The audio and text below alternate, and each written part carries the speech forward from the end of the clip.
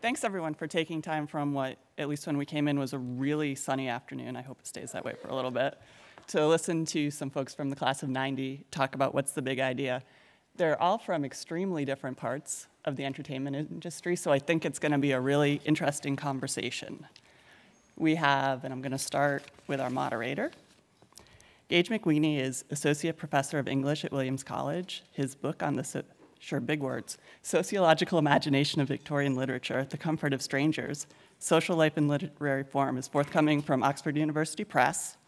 And I'm gonna shorten all of these bios to the length of Matt Tarses's, who has like two lines.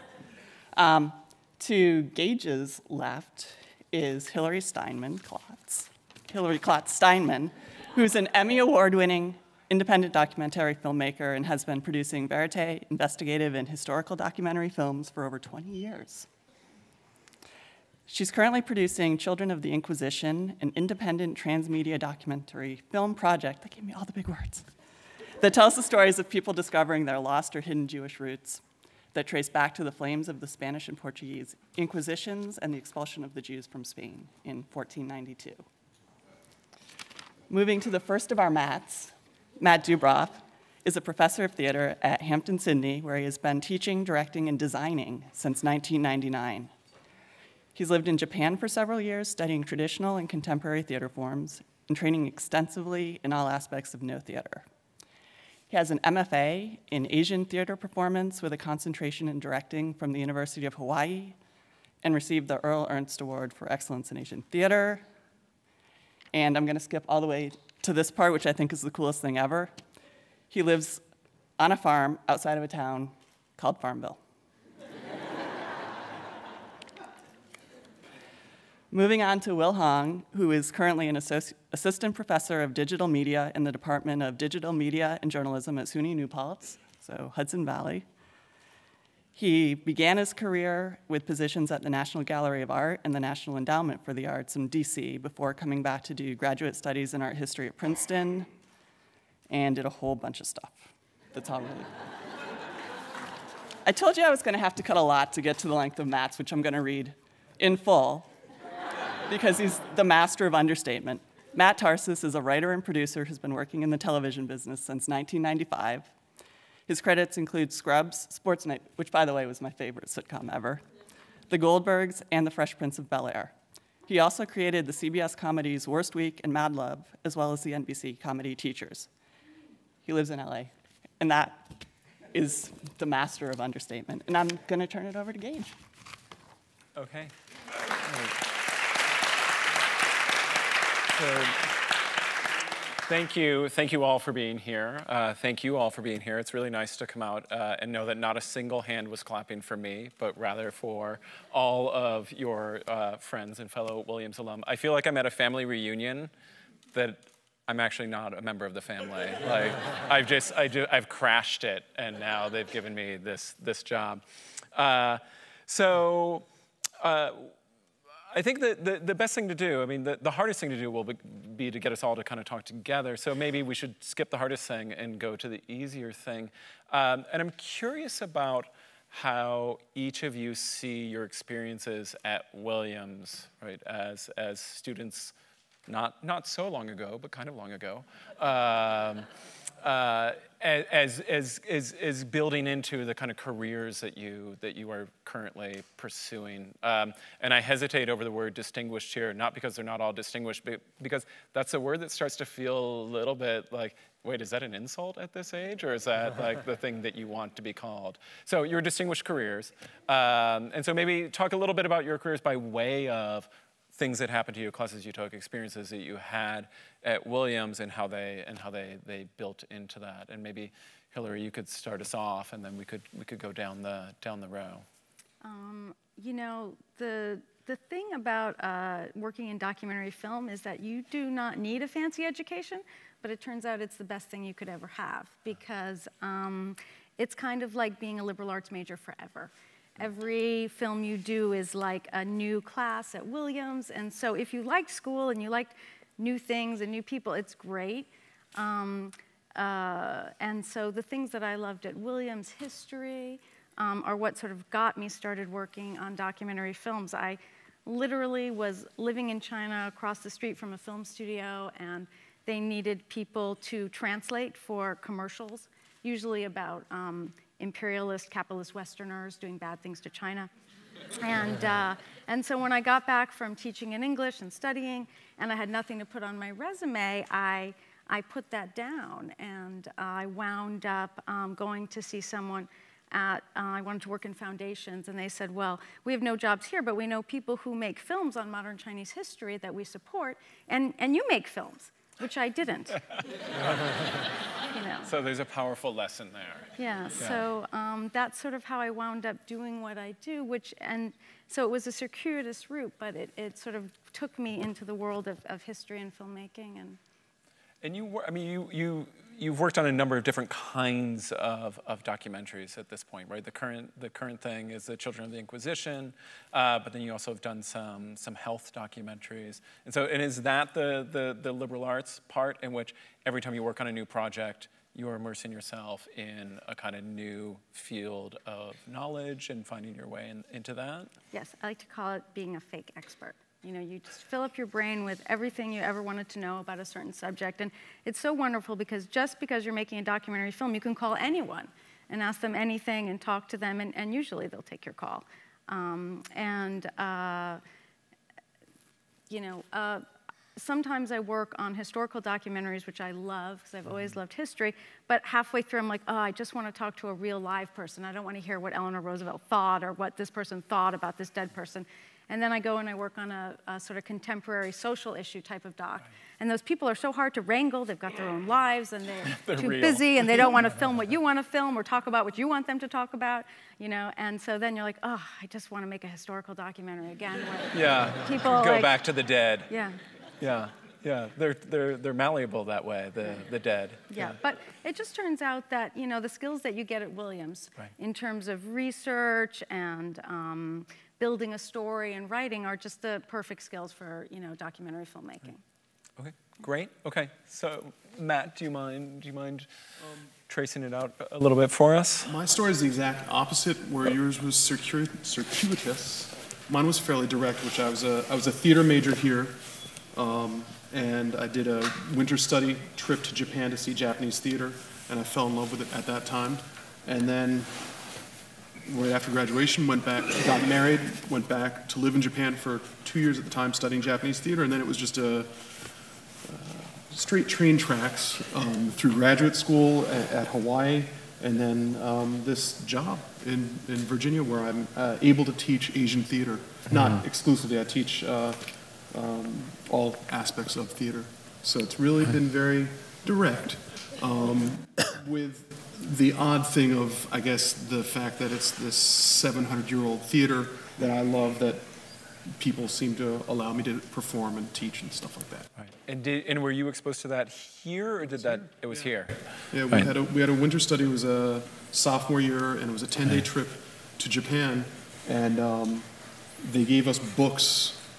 There wasn't the internet back then. They gave us books, and I picked up this book on Noh theater, and this I, they, I did a book report on Noh theater, and everybody was we were interested. And then we got over there, and um, if you've not seen Noh theater, some people find it a bit boring. Um, I did not. I was Everybody else fell asleep, and I was on the edge of my seat for four or five hours of my first exposure to it. And Four, sorry, four or five hours of your first exposure to it. yeah, it's, it's a different different pace Yeah. of things that happen there, and that's that's part of it. But yeah, so um, and it's that it's that the that passion um, that I got exposed to here that I then I've been able to share on down Right. the line, both with audiences and with my students. They see clips of Noh theater, they get exposed to it, they think it's boring as well. Um, and then I, I get them, I try to get them excited. I've, I've been able to take, I've been able to uh, recreate the tour that I went on, Right. and I took students to Japan as well. And that was great. Of a, of a group of a dozen students that I took to Japan, five returned to live for two or three years at a time. right. So, Yeah. So were there? I mean, were there kind of teaching things that you took from being a student at Williams that you now, you know, that work well for you, right? That you that you that you picked up here. It's a, uh, we had a great, we, st- there, a lot of the professors are still here. Some are uh, retired or not here anymore. but um, the, the, ground, and I, I'm, I'm saying we, just to clarify, um, the person who I married, who I'm still married to, uh, graduated class of 89, uh, was another theater major from here, Shirley Kagan, and we are, um, we are the theater department of the school that Right. we teach at, so students major in us. Right, right. But, but Yeah. we, we've been, we've been producing theater together for 30 years at this point. Um, and we're it. Yeah, yeah, right. And uh, the, the ground, the connection to what we learned here carries through, and we Right. try to um, carry, carry on the tradition. So, I mean, there, there's a direct line, right, just running from, from here, from here through. Yeah. I heard everything that you said. Yeah. Yeah. I felt loud enough. I'll project. Right. Sorry.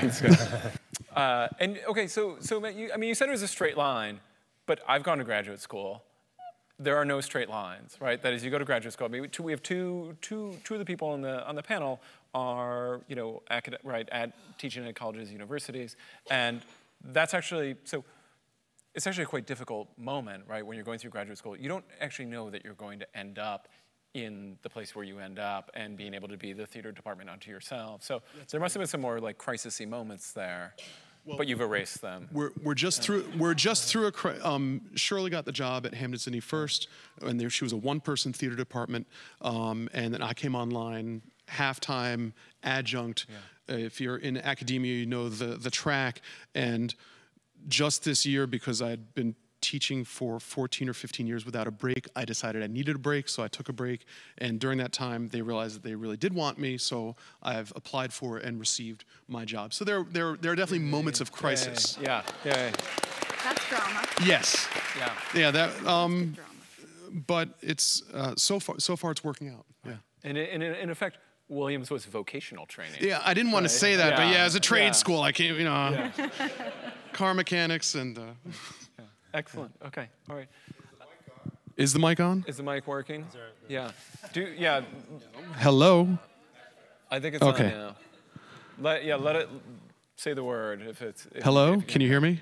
Okay. I'll wave. All right. And now I'm done talking. So. Uh, shall we turn it turn it over to to Will? Okay. Um, So, interesting question. Uh, thinking back to Williams, um, I remember freshman. I mean, I came to this school as pretty much a hardcore math nerd, um, and fully expecting to major in biology or, or math or maybe both, right? Maybe go pre med or pre pre vet actually. Um, and then freshman year, my first semester, I signed up sort of on a whim. Uh, I signed up for Art History 101 with E.J. Johnson, who I know still teaches, right? I just saw an, uh, a piece on him in the uh, alumni magazine. It, it was great to see him, uh, you know, see his face. Uh, and Eva Grudin taught the second semester. I had Whit Stoddard, um, from uh, legendary teacher, as my conference um, professor. And, and I was just blown away immediately for a semester. You know, I had never really experienced anything like that before, and I knew that I would, I would pursue something totally different. I wasn't going to give up the math thing, you know, because I kind of had to do that. My parents kind of wanted me to do that. Um, but, but I knew I'd follow along with the, ma- uh, the art history, and I would turn out to, you know, an art history major at the end of the day. Um, and I loved it all the way through. Uh, took that on to uh, the professional world and found some pretty good internships, and then on, to graduate school, um, where I studied art history proper. Um, but uh, And so how, that how were your parents at that moment? Had they had they they Had they reconciled themselves Yeah, to I mean, you know, like, hey, it's great. What are you going to do with this? Yeah. You know, kind of thing. But um, but on the whole, they were they were supportive because I knew uh, that it was what I wanted to do. You know, and I was moving forward at least. You know, I wasn't just kind of sitting there talking about it. Um, but it was interesting to hear Hilary's experience in being sort of like circuitous because um, my, my experience is uh, similar in that um, I got through my general exams in graduate school, and as I was studying about all these artists uh, and find, you know, learning uh, about movements in art uh, all the way through the 20th century, I, I began to think more and more about, well, what is it like to do it, or at least to try to do it? You know, maybe being a step removed is somehow you know, maybe you should get into the arena, like Teddy Roosevelt would say, right? Um, and so that led me to, to volunteering on a couple of film projects. Uh, I, would always done my own still photography. Um, and from there, uh, I kind of got hooked into the production end of it. Um, shifted gears, went and got my MFA at NYU, and, and was off to the races in, in, in terms of the production side of things. Um, so it was a little bit roundabout, you know. Um, but what I've never lost, and what you know, I think I gained here again from that very first semester, is this um, sort of love of learning and also the environment of academia, which is why I find myself back now, or one of the reasons. Let's just say I'm back in uh, teaching now. Um, uh, pay it forward or, or, or, whatever. You know, I think about all the, the great, how lucky I was to have all these amazing professors, uh, um, and you know, hope to give back as well and to try and bring this next generation along as best that I can, you know, uh, contribute to the cause essentially. Um, but that was all born here. So to, to get back to your question. Yeah. yeah. So you feel like that your sense of that your career can really that you can pursue the things you want to pursue in a university environment Right? you still feel like you can do yeah, that, well, or do, does this feel like a kind of different, a shift for you? It's definitely a shift. You, well, professionally, yeah. obviously, it's a shift, you know. Um, but um, a lot of what I was doing, because I, I, I, slightly different from these guys, you know, I, I was in the commercial world. Mm-hmm. Um, started out music videos, did uh, worked on a lots of TV spots, um, short films. I was in the indie, indie film business in New York before that, but really, once I got out of film school, I was primarily commercial. Um, which allows for lots in terms of the technical side of learning and experience. Really smart, creative people you know, all around you all the time. Um, but uh, you don't tend to address a lot of the other things that kind of make an experience at a place like this really rich, you know, the intellectual part of it, um, talking about issues that are really Im important, um, but don't get touched on when you're making, a, a, you know, a Budweiser spot, you know? So, um, so shifting gears back to academia, now I can finally, I feel like my brain's been a little bit dormant for, you know, a little while, mm. so it's good to get back into it and, and be challenged by the students, you know, uh, learn from them as well as try and impart whatever knowledge I can give them, you know. Um, that's sort of the thing, right? You know, the, yeah. the thing they never I, tell I don't know about the giving them knowledge part, but yes, yeah. No, but you learn as much from them as, as they will right. from you, right? So yeah. uh, that that's, uh, was a big attraction as well. Right. right. Great. And Matt? Um, uh, in terms of Williams. Yeah, I mean, you could talk about the ways it didn't, you know, well, lead you, but yeah. You know, I, I think I came here. Uh, I think what Williams did was it made me into a, a, writer. I feel like I thought I was going to be a writer, but I had never pursued it in any way. And I got here and and um, and started to, uh, and then I. Um, and I, and I, and I did well enough here that I was encouraged to keep doing it. I think in terms of, uh, in terms of preparing me for what I do now, which is sit in a room with a bunch of people and make jokes.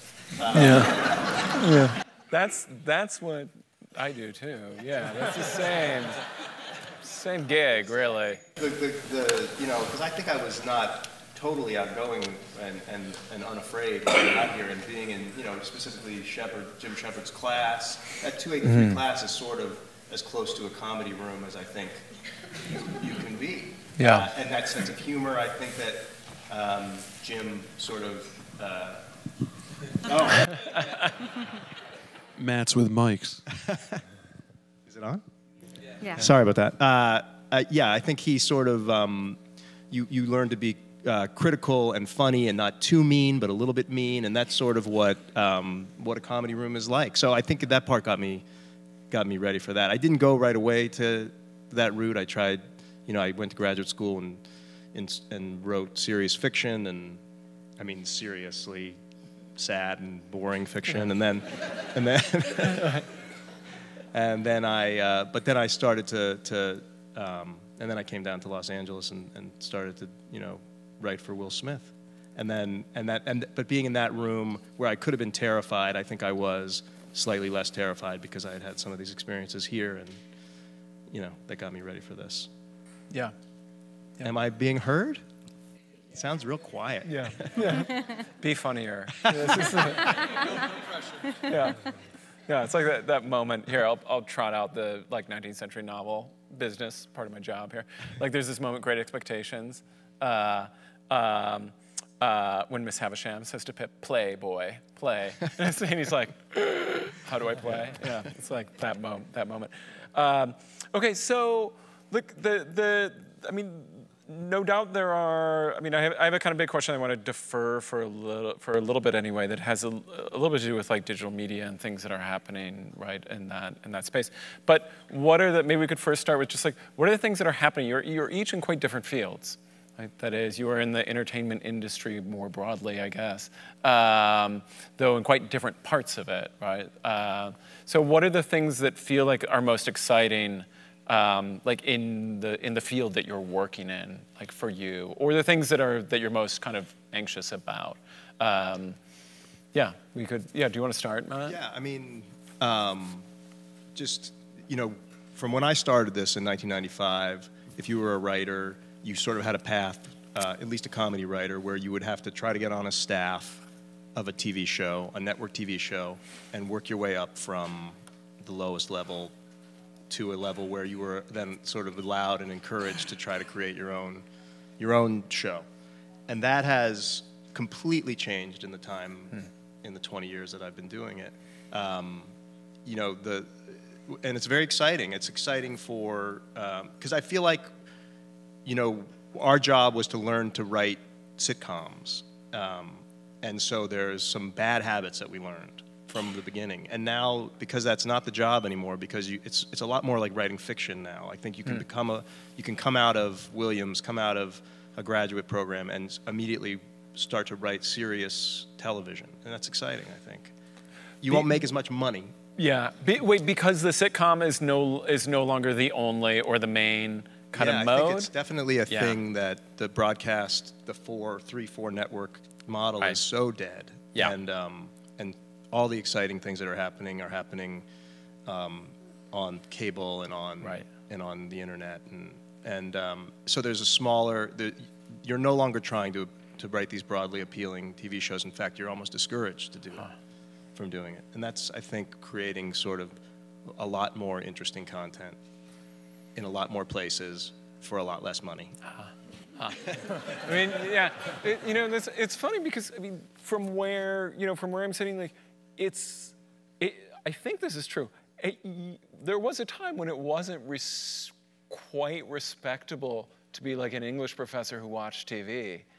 And now it's totally respectable. That is like my colleagues, uh, actually in, in other departments, even taught a class on The Wire, like two, I think two, two years ago.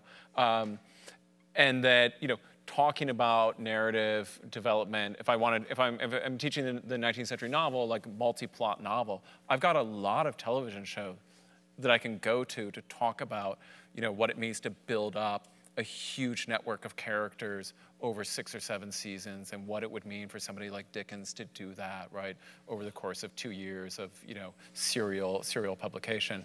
And so I really feel that, that it, that, it, that it comes together. And so I would think of it as a golden age of television.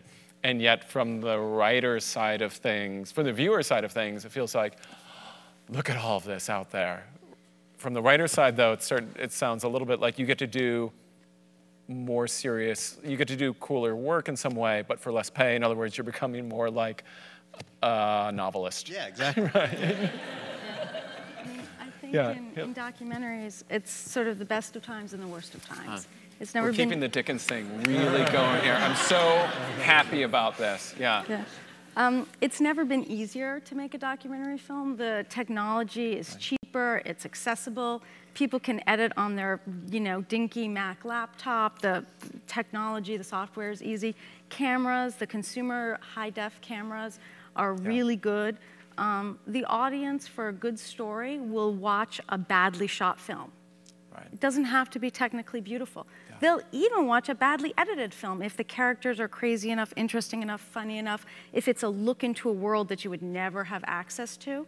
Um, however, uh, with all of this, it makes it also harder because um, you're expected now. It used to be that you could write a paper proposal for a documentary to try and get funding. And that doesn't cost that much money. You can do that at night in your yeah. apartment, you know, after your day job. Now you're expected to present a trailer or maybe a 20 minute work in progress well, you know, if I was 18 and a Williams College student, I would know how to film well and I would know how to edit well, but I don't want to learn all those things again. I could, right. But so I've got to pull together a team and get people who want to do all that stuff because they like the topic so much. And maybe they've been doing commercial stuff and they have a free day here and they'll shoot for you there. And you've got to pull together a lot of resources to actually show someone something. And then once they see it, they could get excited and you can get the funding going. And now you can ask for funding from anyone. I could, you know, send an Indiegogo campaign to all of you next week and maybe you'd give a dollar and maybe you wouldn't, but it's become socially acceptable to do these things. So there's all sorts of ways to get money, but it's, it's the onus is really now on the filmmakers to, sh- you know, deliver a lot. And, you know, that's, that's time, it's a lot of time and money for editors and composers and um, cameramen, sound people. Right, right. And then, and then there's a generation of people who are just doing it with their iPhone. Yeah. That were not Yeah. right. That that's not how you. That's not how you were. You came up through the. But as Matt business. said, you know, there's never been more places to put your stuff. Yeah. And uh, you know, you can go. You don't need. Uh, you don't need PBS or the networks. You can go straight to video on demand. Right. You know, you've got Netflix and Amazon Prime. You've got. You can just post your stuff on it. You know, right on YouTube or Yeah. Vimeo, and just you know, no pass, not password protected. So. You, you can show it everywhere, Mm-hmm. which is wonderful. But um, uh, it's a crowded it's a crowded marketplace so it's hard to stand out it's hard to stand out and you're now you're you're expected if you want to raise money for your film you you should have 700,000 Instagram followers you know that, that Right. that's a that's a pretty tall bar Yeah. so um, you know not that many people are interested in you know 15th century Spain so you know More, more than you might think, but they might not be on Instagram as much. Yeah, yeah, yeah. Um, so, Matt Dubroff, the changes in Noh theater have been vast. I know over the past uh, the past four cen- four centuries or so. No, but so, but so, I mean, can you can you talk a little bit about theater about theater stuff? I, I went into academia theater, academic theater for the money. So Yeah, No, the- theater's difficult because different than the modes of distribution that you can put out for thousands or millions of people to see, you got to be there. Um, and with the theater that I do, which is weird, um, there aren't non-Japanese people who do it except for the 15 people who I'm associated with, who are my my theater company, and we live on three continents and four different countries. So we get together for one week a year to rehearse, and we um, we don't have much competition, which is nice. um, but it's uh, it's a tightrope walk, or we're out in a field by ourselves. I'm not quite sure of what the analogy is, but um, we're, we're we keep doing it, and it keeps going. That that's good, but n- none of us has quit the day job. That's that's the situation that we're in. But it's um, uh, what you you can't do what we do with a cell phone at all. Right. Um, ours ours is uh, the the term Noh means skill. Ours is a skill based performance art, and it's the uh, uh, collection of skills that leads to the ability to do the art. If you don't have the skills, you can't do it. Um, so we're oddly we are qualified to do it, but um, that's that's as far as it goes. And so every we're the only ones who are doing this sort of work. Um, and each time we go out, we don't know if there will be another time. right. Yeah. So um, as far as changes in Noh, it's it, it, there are perpetual crises in in theater and Noh in particular. Um, uh, there are about a thousand professional performers in Japan right now, um, and it's the audience just doesn't seem to be flocking to Noh, but it hasn't for a couple hundred years. So it's, it's just- still it's still holding on. They'll come back. They'll come back. We're waiting. Yeah. So is, is academia like one of the, things that can support uh, an artistic form that doesn't have um, economic support through, you know, generating revenue through like, you know, ticket sales quite in the same way that, that something else might? Um, it, it, it helps. Yeah. I, I'm actually in my, I'm, th- I'm thinking through the roster of people in my troupe. There aren't many of us who are actually academics. There are other, they do other things. Yeah. Um, some are. Um, so it, it definitely helps. I've, I've been supported generously over the years from my school, from grants, um, and that's that's the process. You're always writing for grants. We've done uh, Kickstarter things. along those lines. So it's you, you got to scrabble it together, I th- and I think that's across the board. Yeah. I mean, one, one of the things about theater, right, is no matter what the technological transformation, you still have to get together in on a stage, in a room, wherever, right, and really and really do it, right, in order for it to, to work. I mean, I know that I'm sure that there are dispersed avant-garde versions. We're of this, we're, tr- we're trying to figure out how to rehearse Yeah. via Skype, but right. it, I know bands do this, But it's right, uh, uh, the the theater is a musical theater, right. and and there's a little delay in Skype. I get. I Yeah, yeah, right. So they make it really hard. I mean, I, I was struck by the fact that that Matt and Hilary, those would seem like places where you could, your editor could be across the country. You could be in one, you know, in another place. Somebody else could be uploading film someplace, right? You don't all have to get together, that sort of thing. But yet, it sounds like you do, in fact. And likewise, Matt, you just you talk about the writer's room, and I know this is like a Hollywood thing, right? Like the vibe in the room, right? That that's not that's not metaphoric. That's an actual room with writers in it. a bunch of people, yeah, eat food, yes. and Yeah, right. Uh, and so the yeah, and so I'm just curious. I mean, it feels like there are also, while Noh would seem like the form that is most attached to the past, that both both of the fields, that, you know, both both of the the type of work that you do, still works in a fairly old-fashioned sense in some ways, though the distribution of it and the audience of it feels really changed. Maybe if I can just jump. Or Yeah, yeah, you're gonna please. Um, can, can you hear me? Do I need this?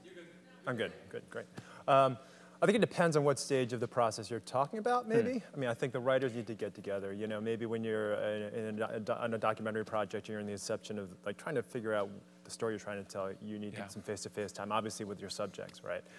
But on the technical side, that's where a lot of the, the internet and, and, and the, the um, technological advances that we see every day come into play. You know, uh, I've been on projects where, um, you know, maybe cut here in New York, um, one person's working on one shot in, you know, Hong Kong. Uh, that, that's going to happen overnight. We know it's coming back in the morning. Um, the producers are in LA or they're somewhere else, you know. Um, all, all that stuff can be done um, sort of remotely. You know, in fact, I, uh, the freelance work I still do, I generally do remotely. Um, the communication can happen by email, obviously, or, or texting, obviously, obviously by cell phone, um, and you just kind of figure out the timing of it.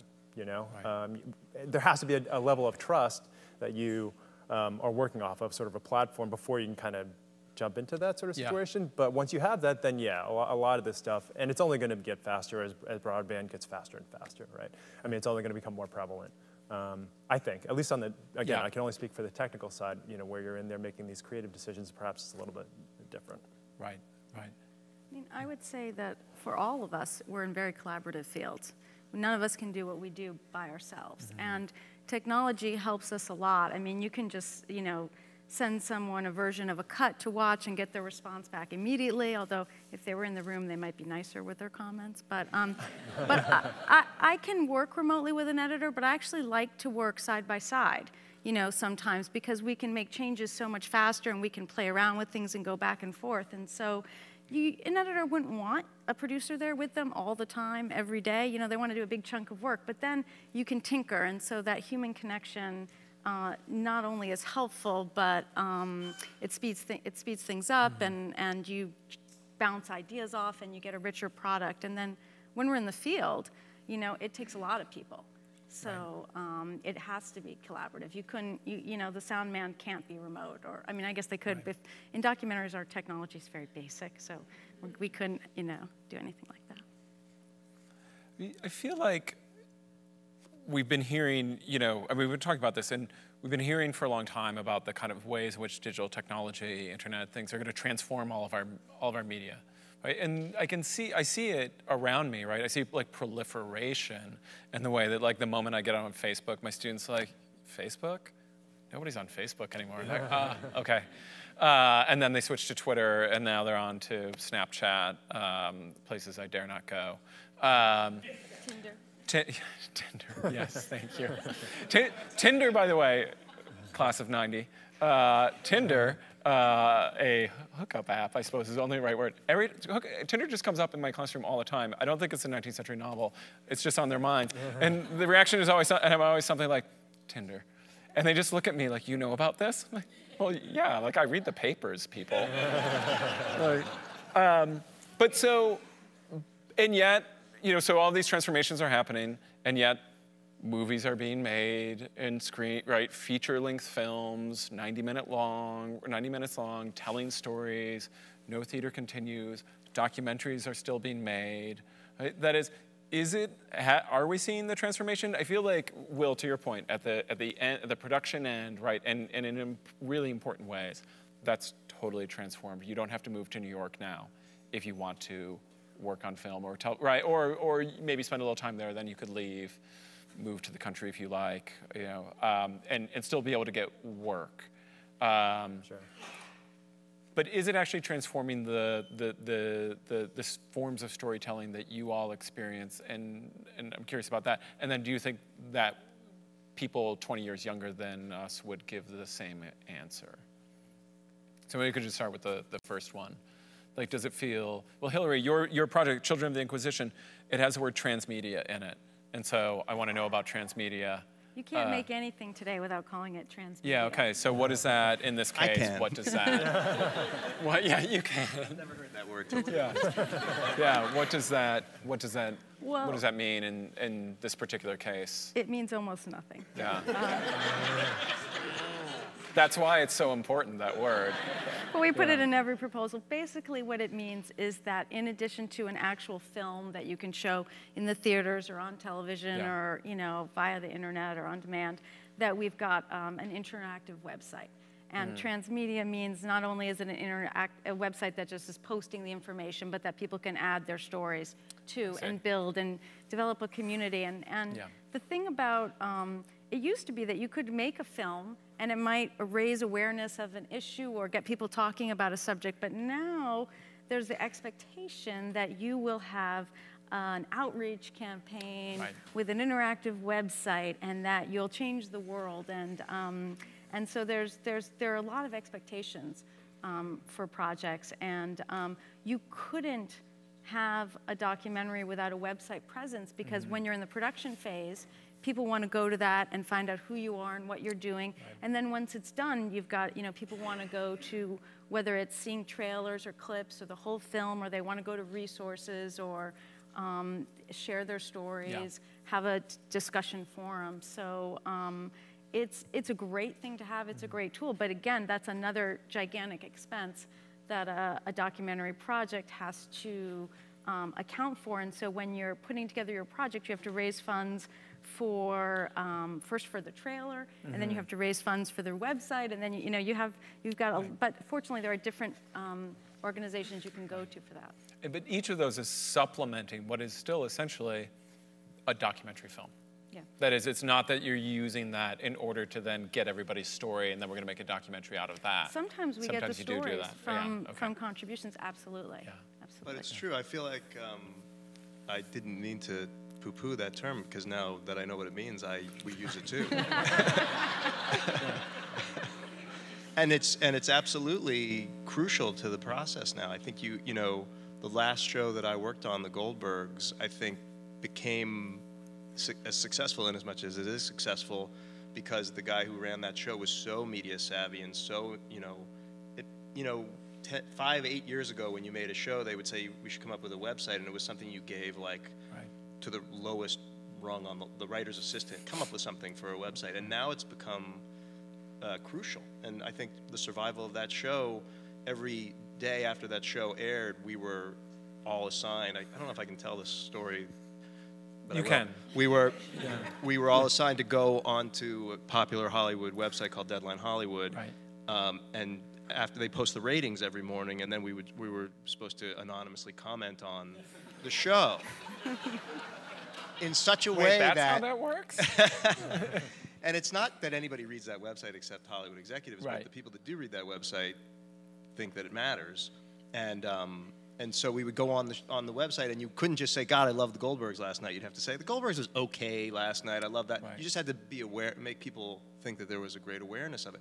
It was a whole separate part of writing that we had never done. You know, that is, it- you've become your own audience. you become your own audience, and you become your own um, marketer in a much bigger way than you than you ever you know than you were ten years ago. Yeah. And I think it I think it does. You, you can't not you can't ignore it. I think for a long time I thought I'm not gonna just a good story is gonna be the thing that either makes this work or not. I think there's more to it now. Yeah. I, I don't know, but I'm starting to get nostalgic for the time when you could have just been a writer. I'm very I mean, you know, in this conversation, yeah. Yeah, that is, I mean, the multiplicity of, of tasks to take on, right? That is to, to, you've got to raise the money. You've got, I mean, I know documentary has, has long been like this, right? And I'm sure Noh theater, you guys have to raise, you guys have to raise money as well. And Will, the way that you have worked, that is putting, right, doing freelance stuff or, right, versus say being with a particular company, um, that there's, that everybody's life looks a little bit more like freelance in a way than even I think for right in the academic world in the sense of like you have to do this multiplicity of things and you're trying to do a, a whole set of things together to try to like produce it, write it, comment on it, kind of like it, uh, pretend to kind of like it, right? Like that's that's But- that's a whole lot. You could ask uh, the Matts and Will about this too, but you know, when we go on a shoot now, we post it uh, to Facebook and Instagram Yeah. all along the way to try and get interest going, get Right. momentum going, you know, and um, that wasn't something we ever had to That think had to about do even before. three years ago, you know. Right. Yeah, I mean, please, Matt. Well, we, we have the guy in our theater company who's the, the one who's excited to post every Right. time we, you know, have toast or Yeah. what- Yeah. whatever it is we're doing. And Yeah, track yes, it. Do you da- do you have the person who posts post performance to say like, I thought that was pretty good. you guys should think think about that. okay. I'm going to start doing that in my teaching. Yeah. Will, did you have? Rate my professor. Um, What was I going to say? Oh yeah, I mean, I, I, I think with uh, again, it's like this double-edged sword, right? Because the, with the, the internet, what's happened over the past 15, 20 years, um, it, it, it's helped us out incredibly in terms of producing work and getting it out to people. We have that option now. Like when I was in film school, you would go through all this work at great expense on a- using actual film, not, not digital media, and you, maybe if you were lucky, you'd get your film in the can by the end of the day, and then you just had to carry it around with you in these big bins, right? And you could only show uh, maybe a room, if you were lucky, as big as this at, at one at a time. Now you can plop it on YouTube, and all of a sudden the world has access to it, right? Um, but with that comes, you know, everybody else who's doing exactly the same thing, and so there's all this stuff out there, the noise that you've got to compete with, right? If your thing is really good, you know, let's Yeah. just say, um, which is a, a different kind of problem. So in, in a way, you're still stuck in that same place of trying to get your get to your audience somehow. And everything I think that these guys are talking about, using the Twitterverse or you know um, whatever social media is out there, and becoming a, sort of adept at, at doing that. Which who who knows how to do that? You know, I mean, Right. people are coming out of the weeds saying, "Oh, I'm a content strategist" or whatever, right? Um, and, and being very successful, again, getting, Yeah, getting paid a lot. Everybody wants to know how to do it, and nobody knows how. yeah. Right? Right. And, it, and it, you know, the sands are shifting daily, so it's, it's very, it's, it's tricky. Um, but, uh, and at the end of the day, you know, the, the, the primary commodity is attention, right? Like all of us are just trying to get people, you, everybody's attention somehow. If you can do that, you've won. It's not even about getting into your pocketbook immediately Right. anymore. That's right? later. That's Yeah. later. That's later, right? But you know, Google, they just want your to come to do their do your searches on Google, right? They'll they'll pay for it with ads. Um, so it's a totally different model, and um, you know, and, and I think it does change the way we have to do things because Yeah. we have to keep that all in mind. Yeah. Yeah. But for example, we, uh, even five or 10 years ago, you'd never show a clip of your film before the film's done. You know, that may be a trailer, but now we post stuff all the way through, and then the, the final film will still have things that people have never seen before, and it'll be all, uh, but we post short little stories. And then um, we do it constantly to just kind of keep the momentum To momentum build- to going. build And the we- interest, We would yeah. never do that, even just because the, the people that you filmed, what if they don't like that? Then they have all that time to complain, you know? Right. Yeah. You want to you want to surprise them. So just for that alone. Uh, sometimes they'll be in, sometimes they'll be out. A lot of times, quite frankly, they're auxiliary stories. They're the fabulous Right. stuff that you film that doesn't fit into the in. main narrative, and now you've got this wonderful home. So now you've got a place for it, and the people. Sometimes you have whole characters. You spend days with them, weeks with them, and they they're cut, and those people are annoyed. So now you can say, "We're featuring you on our website," you know. So. Um, you know, and would you like to comment on the Facebook feed? I So- thought Ho- I thought Hollywood was bad. Yeah. No, that was that's very that's very that's very impressive. No, sometimes actually. we yeah. lose characters, and it's it's heartbreaking. And, and usually I'm the person that has to call, you know. Right. So, but um, then that can become fan fiction right, on another on another website that could get picked up and that could become its own could become its own story. Um, my, my guess is that maybe some of your fellow Williams alum might have questions. If you're, if, does that feel safe? Does it, can we, can we, open, can we open it up? Yeah, you can refuse. No, that would be, that would, that And, a, would and a life, a lifeline. yeah. I mean, I've, I've retrieved papers you wrote your senior year that I can quote from if this doesn't go well. So, yeah. yeah. Over here?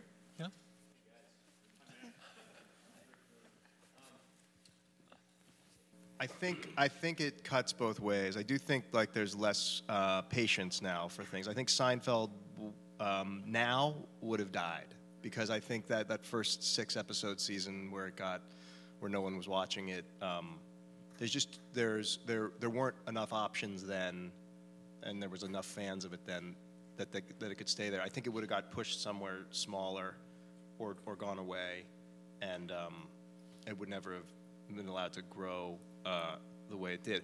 On the other hand, I think it, it might have started somewhere else. It might have started on Netflix now, or started in, on FX, or started on one of these smaller cable outlets, and then been able to build an audience. I don't think it would have been as giant. Um, I don't think. Isn't um, very little stuff is as giant now because there's so much stuff out there. So no, nothing, nothing dominates the the dialogue of the whole swath of society. It doesn't seem like, except for uh, the game last night. But By which you mean basketball, not Game of Thrones. no, Uh, is ga- the- ga- yeah, yeah. I guess there there are still the the, the Right. ones, but The Wire, Game of Thrones, and, and in time. But there's so much stuff. I agree. I think Seinfeld would have been one amongst many, possibly. But some shows, you know, they start on, you know, YouTube, and now they're Right. going to, you know, much bigger outlets, like the show about the people who each episode they deliver pot to someone else in New York City. Have you guys seen this? It's I really haven't seen funny. it. It's High fabulous, maintenance, and the episodes were really short. It didn't have to fill a 26-minute episode or whatever. They were very short vignettes, and each time they go to someone else, and it's this huge viral hit. And now they're going to be a whole series. So. I think they're also, in- interestingly, running into big tr- trouble trying to turn that into a 21-minute show. And Right. I can't imagine why. There's always the patter afterward. Yeah. Uh, so, but it will. Okay, so it will become a 21-minute show, though. That's the idea. they're trying. Yes, I think they're trying. I think they tried once and they're trying again. Right. So that I mean that feels like okay. So here's this. I mean, no narrative could seem more suited to the short attention span than the pot delivery narrative. uh, and um, and now, but then the then the game is to take it and stretch it out into a 21 minute show. Like, why not? Why can't it just live as this? I haven't seen it, but like as this beautiful, beautiful crystallized beauty. Uh, you know, this beautiful crystallized gem of the eight minute episode. Because they can't make enough money. They can't make any Yeah. money off it. Yeah. Yeah. I mean, I think they they could just will. There must be a model coming where they will, but it's Right. not here yet. Right. So, I mean, that speaks a little bit to the like, is the form actually being changed? It's hard to change the form if the form, if the, if the form, the short form can't make any money. Right? That is, it's always got to go to the 21 minute show or something like that. Yeah, and, I, and I, if you're saying will the form start to evolve? Yeah. I imagine it must. Yeah. Yes. I mean, these guys, these young people, Yeah, the kids today. these kids today, yeah. Yeah. Yeah. Because I think they tried to do a 15 minute show, a 15 minute block once Right. 10 years ago or 20 years ago. I bet if they tried it again, it, It might, might- be, it might work take, better. yeah. I mean, the, the, the other thing, I mean, now that the professors are teaching television shows, it makes me worried, right? Like television is becoming the way like auteur film used to be, right? Like, will it become like this thing where it's like, oh, you watch television? Like let's let's let's let's discuss this in our smaller coterie group, away from all the Vimeo or Vine video like viewers or something over there, the masses or something like that. I mean, it, obviously that's an exaggeration, but um, I think that I regard television with more reverence in some ways than my students do. Television is just one of like a thousand different things that they are taking in at, at, at any time. Well, I, I, ch- I check in with my students Yeah. at the start of each semester to find out what they're watching, and the bulk of them are not watching TV. No. No, it's uh, They're watching YouTube videos. And about two minutes Yeah. is the attention span, Yeah, is, is what is it seems like. Very promising for the beginning of the Noh theater class. Oh, yeah. Yeah. yeah. It's very, no, I, I mean, we're in the same boat. Well, I'm teaching I- the 19th century novel. so, If, uh, if, if anybody's interested in reading a Noh play, they're act, the nice thing about Noh is the, the hook The- is the, the plays themselves are really short to read. In performance, you know, s- seven pages, yeah. seven minutes to read, an hour and a half to perform. That's that's what we do. So we're, Yeah. we're stretching things out as well, I guess. But right. I do think there's also a distinction in the in the attention span thing between comedy and drama. Mm-hmm. At least my perception of it is that you know I still feel like the, the golden age in television is definitely the drama TV mm-hmm. that's happening. I think because of comedy, I think these YouTube kind of the, the comedy stuff that's happening, including high maintenance, it's basically one joke. You know, they're, they're, they're, and that can take two minutes or four minutes or one minute. I feel like drama um, is still needs that amount of time. Right, to actually unfold Dickensian, something, yeah, yeah. To, to build to build something, yeah. Oh, Is somebody in the back? Yeah.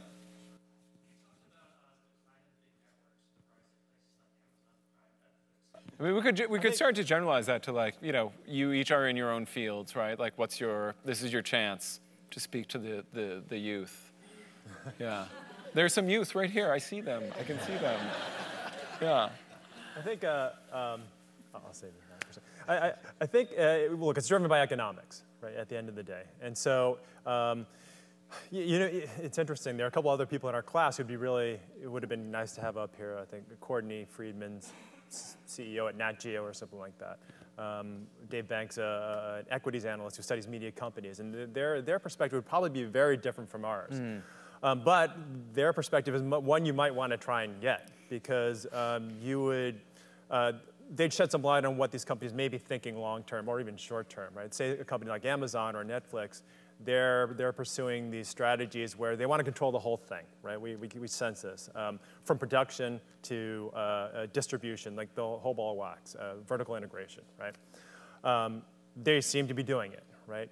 At the end of the day, e- even if that business model is successful, the, the question is like, will the storytelling be up to snuff? And now they're already, you know, they've had a couple of hits Netflix with, uh, like you said, House of Cards and uh, Orange is New Black, right? But they're starting to, to run into it and find out, hey, this content creation thing is really hard, you know, as you can ask uh, Matt. But um, so in terms of like where we are, we're going to be 10 years from now, in some ways the technology is going to keep accelerating, and so it's going in, in terms of that, probably the landscape is going to look very different, right? There's going to be another company that we haven't even heard of yet that, that shows up on the scene and is, is a big player.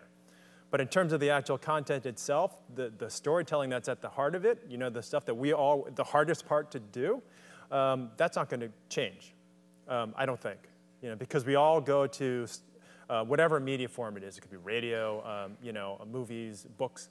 Um, remember books?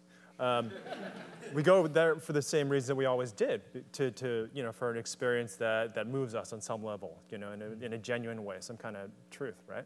I, I think.